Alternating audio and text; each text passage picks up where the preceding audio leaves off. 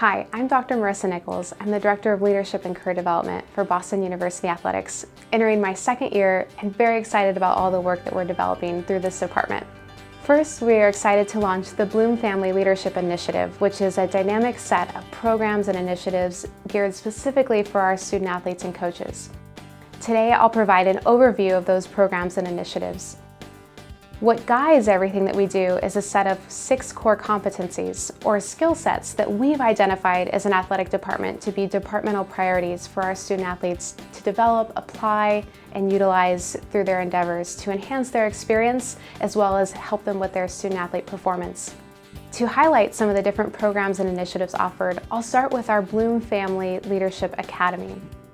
Our Bloom Family Leadership Academy is a developmental, experiential set of curriculum for student athletes who are sophomores, juniors, and seniors who can apply and are endorsed by their coaches uh, and go through a year-long progression of curriculum. We are very excited that we have partnered with the Questrom School of Business and a wonderful set of faculty who have committed to developing and facilitating the curriculum together. And so at the table, we sit with those who have expertise in organizational behavior and leadership development and performance, team building, interpersonal and interpersonal relationships. It is our goal to create world-class curriculum for our student athletes and their development. We also have our Bloom Family Leadership Academy for coaches. This forum is an opportunity for head and assistant coaches to learn from one another, talk about emerging topics, ways they develop their leaders, how to support their culture, you name it. We also have a opportunity for assistant coaches who are emerging head coaches to go through more rigorous curriculum on how to become a head coach, whether it's budgeting their program, learning about head coaching identity, developing a support staff. We also offer keynotes for student athletes, again highlighting some emerging topics and follow-up discussion opportunities for them to dive deeper into that content.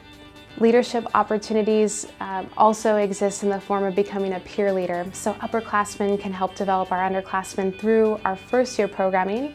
Also an opportunity for freshmen to engage in as soon as they get to campus, a very targeted approach recognizing that our student athletes go through a different transition and so how can we meet those needs through helping them understand resources on campus, how to work through some of the pressures and stressors of being a Division One athlete, managing playing time and expectations and so forth. And no one better to learn that from than some of their upperclassmen leaders. We also have our SAC student athlete group, a wonderful set of student athletes from each team who engage in community service, wellness initiatives for the entire student athlete population, and also serving as a voice for the entire athletic department.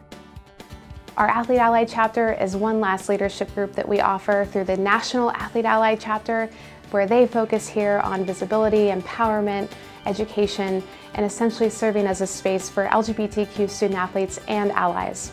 We also offer leadership consultation for coaches, student athletes, team captains. This is an opportunity to work with them on their effective communication skills, developing and implementing the culture that coaches help to achieve. Thank you so much for taking the time to view this video.